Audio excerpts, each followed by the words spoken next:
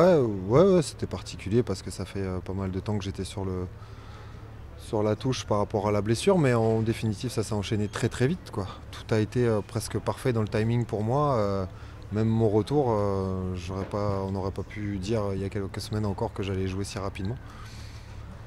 Donc voilà, je suis content. Je vais ce soir boire une bonne bière et puis faire un gros dodo parce que jeudi je remets ça et comme je vous le dis, euh, c'était pas gagné d'avance de pouvoir rejouer aussi vite.